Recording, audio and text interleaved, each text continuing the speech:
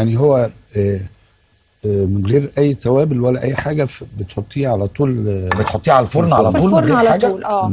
وممكن على النار فوق كمان ما على فكرة. بتحطيش زيت زيتون مثلا؟ أنا حطيت زيت سمسم. آه عليه. وكمان السلمون فيه زيوت مفيدة أوميجا 3 وهو مفيد يعني فمش محتاج زيت. هو بينزل الزيوت بتاعته. آه. لا خليه هنا جنبينا كده أنا مع- معتاد اجرام يعني.